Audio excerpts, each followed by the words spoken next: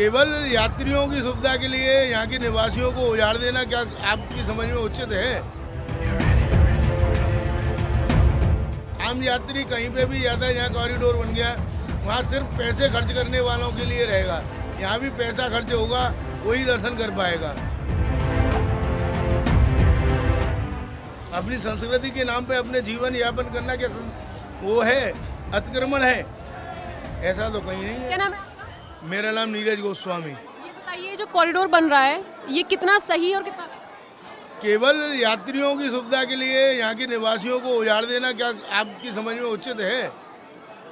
आज हम सैकड़ों सालों से हम हमारा परिवार यहाँ रह रहा है और वृंदावन की पहचान कुंज गलियों से ही है।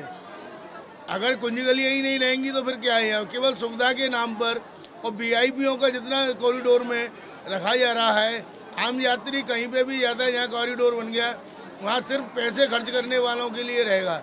यहाँ भी पैसा खर्च होगा, वही दर्शन कर पाएगा। कहीं भी ले जाओ, सब जगह टिकट का आज उज्जैन में भी अगर कोई जल चढ़ाना चाहता है अंदर जाके तो उसके हज़ार बारह सौ, पंद्रह सौ रुपये खर्च होते हैं। सिर्फ़ जनता का शोषण होगा कॉरिडोर के नाम पर। और यहाँ के मूल निवासियों को यहाँ से उजाड़ दिया जाएगा। आए इतने पुराने हमारे घर हैं, सब में वृंदावन का एक मूल मंत्र है शुरू से।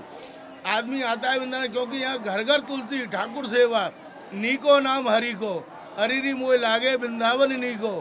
क्योंकि वृंदावन का हर घर मंदिर है। आप उसको तोड़ रहे हो, कितने मंदिरों को तोड़ोगे? और कोई कहे, ये घर है, ये घर नहीं, आप अंदर घुस के देखिए। सब में अपने अपने ठाकुर जी सबके विराजमान है। मुझे ये बताइए, आप तो यहाँ पर आराम से बैठे हैं, कोई दिक्कत नहीं है। आप बिल्कुल छीद में बैठे हैं। अभी हम अंदर से दर्शन करके आए।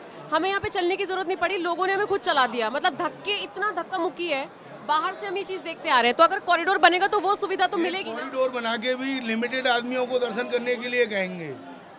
क्योंकि पाँच एकड़ से ज़्यादा बाईस एकड़ में आपका प्रेम मंदिर है। आप आप शाम को प्रेम मंदिर चले जाइए। वहाँ की स्थिति इन पे है। बाहर भी देखिए सौ फुटा रोड है। क्या जाम लगता है वहाँ? क्या व्यवस्था है? अगर व्यवस्था करें तो इसमें भी एक लिमिटेशन बसें आए वृंदावन में इसी व्यवस्था में। और लिमिटेड कार डीएम अनुमति से मिले तो आराम से व्यवस्था बन जाएगी इसी में। अगर यहाँ पे कोई सुविधा के नाम पे कॉरिडोर बना रहा है सरकार बना रही है तो उससे इतिहास संस्कृति कैसे खत्म हो जाएगी? क्यों नहीं होगी? वृंदावन की गलियाँ कुंज गलियों से पहचान है वृंदावन की। यहाँ कान्हा जी खेले कान्हा जी के संत लोगों के रहने के स्थान जो सब टूट जाएँगे समाधियाँ वगैरह आसपास कई हैं जो इस बीच कुछ लोगों का ये कहना है कि ज़बरदस्ती का यहाँ पर कुछ लोगों ने अतिक्रमण कर रखा है। मंदिर के नाम पे अपना वो ज़मीन कब्जा ली है। अब क्योंकि वो टूटेगी इसलिए। काय की जड़ है? मंदिर के नाम पे काय को कर रखी किसने कब्जा कर रखा? आज चार पाँच सौ साल पुराने लोग क्या जो कब्जा किसके पास है? रजिस्ट्री वगैरह। चार सौ पाँच सौ साल से अगर आदमी रह रहे हैं, वो कब्जा है? अतिक्रमण क्या होता है? उसको अतिक्रमण कैसे कह सकते हो? अपनी संस्कृति के नाम पे अपने जीवन यापन करना क्या वो है? अतिक्रमण है? ऐसा तो कहीं नहीं है। अच्छा आपकी क्या मांग योगी सरकार से? सरकार से क्या सरकार से है कुछ बाज़ार हैं उनको छोड़ा कर दें। उसके हिसाब से और काफ़ी जगह है यमुना तट पे।